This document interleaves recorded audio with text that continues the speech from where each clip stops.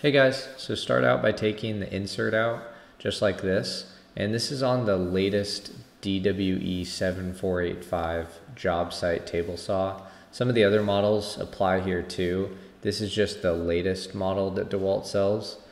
They claim that a dado stack cannot be used with this, but that's that's purely because the arbor nut is not going to have enough threads for the nut but I'm going to show you in this video there are enough threads.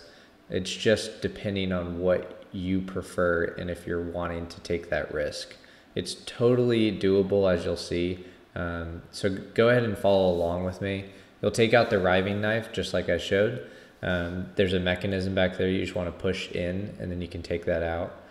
Now go ahead and take the wrenches that we had just previously taken out that are in the back of the job site table saw and you're going to want to pull towards you as you loosen the nut.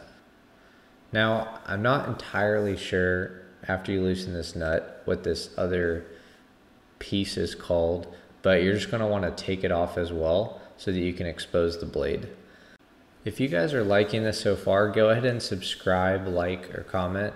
I'm doing a 500 subscriber giveaway for $100. So if you guys want a part of that, go ahead and subscribe.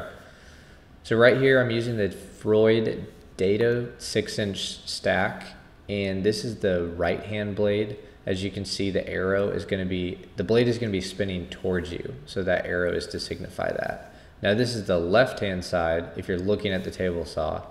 So I'm going to put this one in first so that as the blade is spinning it's coming towards me.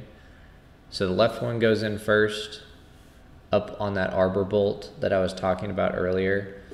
And there's different configurations you can use to do th different thicknesses. But in my case, I want to show the thickest stack up that I felt comfortable doing. And that's a 3 8 thick stack up. So you're going to want to take the middle chipper and align it so that it's missing the left hand blades. And then take the right hand cutter and put that up to sandwich the chipper that you just put on. And all these blades should be coming towards you. So now I'm going to align this so that they're all missing each other. And just make sure that whenever you're screwing it in and tightening down the bolt, that these stay aligned just as I'm about to show here, just like that. So you're going to want to put this piece back on, and then I'm going to place the nut on and tighten it down, making sure that none of the blades moved. And the one thing I want to highlight is that the threads on this nut are flush with the nut. There's no way I personally can go thicker on this dado stack and feel comfortable because the threads are not all engaged. You could technically go thicker, and I'll show here after I tighten this and put the insert on. You're gonna need a zero clearance insert so that it doesn't run into the edge of this insert. The other thing I wanted to show here is this is 3 eighths. If you wanna go thicker, you're more than welcome to. It's just at your own risk.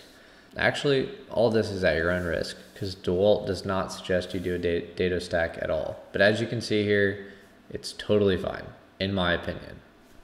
So what I was going for here is I was trying to do a test piece to make sure that when I used the 3 8 slot, that the 3 8 plywood I had was going to go ahead and insert into the dado stack groove after it had been cut. If it didn't work, I was going to have to take the 364 thick blade and just continually run it down the boards. But in my case, and as you can see, hopefully in your case, 3 eighths is totally fine and works perfect.